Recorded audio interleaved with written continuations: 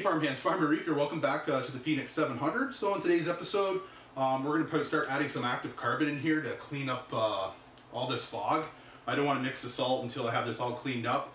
Plus, the sumps downstairs aren't full yet because when I go to add the salt here, it's going to start overflowing into uh, the overflow boxes and down to the basement. So I want to try to mix as much of the salt up in here as I can, and then I can start adding more water because this is a big volume and 850 uh, gallons of water altogether. So what we're going to do today, um, we're going to use some some uh, Polyp Lab uh, Pro Carbon. We're going to add it to a couple reactors, just stick a couple reactors up on top of the tank.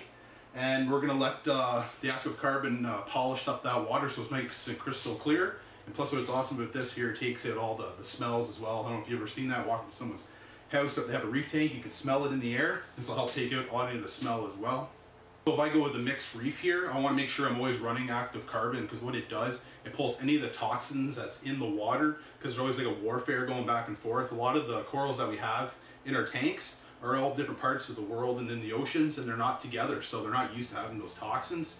And like if I just want to do like an SPS tank, if you guys see, a lot of people just keep SPS because they don't want to have all those different toxins coming off all the LPS different corals that can uh, really trigger and you know, mess with their uh, the polyp extension and then they die out because of those toxins. But if you're running a nice uh, mixed reef, try to make sure you're running your, your carbon so it sucks out all those toxins out of the water and polishes it at the same time. So that's what it's great, the Polyp Lab Pro Carbon. comes in different sizes. Uh, this one's a 1,000 mil, this one's 500 mil, and uh, this picture beside me here, you can see it comes in a great big bulk as well, and that's what I'm running uh, on the 700 is bulk. I have uh, a roll bucket here just full to show you guys what's awesome about this stuff. It comes in one millimeter beads. Um, I'll show you a picture of it up and close. So with the one millimeter beads, you get less dust and it's a lot easier to handle. A lot of the other carbons are all, it's all crushed. It's not as nice to work with, but this one here is beautiful, a one millimeter bead, so that means less dust. So I got uh, I got a reactor here. I have, uh, this one here is the fluid uh, Deltec reactor, so we're gonna pack this full and with carbon you don't want it tumbling because if it tumbles it creates more dust. You want to make sure it's packed so the water goes straight through back up and clean right into your tank. And how we're going to power this Deltec today um, I got a I got a return pump here. This one here is the the 1073.20A uh, return pump. It's a great pump. So that's what we're going to use to feed the reactor. So what we're going to do now is we're going to fill up that reactor with the, with the carbon. I'm just going to put it up on the tank plug it in and just let it do its thing. I might uh, grab another uh, reactor as well, put one on each end just to help speed up this process. And I'm going to try to do a little time-lapse video of the carbon cleaning this tank from the fog, and hopefully it's a crystal clear. So let's go ahead and do that now, guys. All right, so here's the Deltec reactor. This is the FR509. So let's just open that up get everything apart here. So what I like to do is I like to plug the end of the end of the pipe here so we don't get any carbon down in the middle. I just have a bolt and just stuck it in there. Um, so here's the here's the carbon I get in the bulk. It's pretty nice. You can check it out. I'll put some close-up pictures so you guys actually can see it better.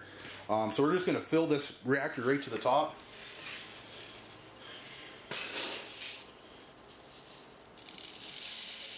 See how nice it is with the beads? It's so easy. Less mess, less dust.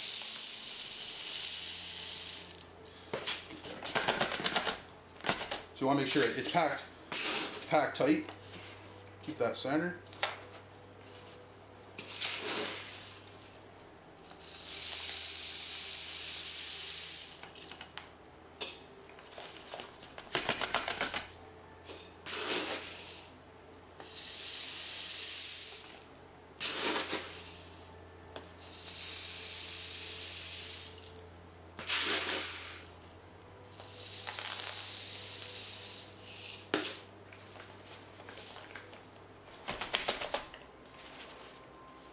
Keep the pipe in the middle here. So you put it together. Just a little bit more. There, we'll try that. See how that fits up here. So it just moves aside. So that should be good for that one. So put our foam back in. Put our top here back in. And we'll put the, put the cover back on.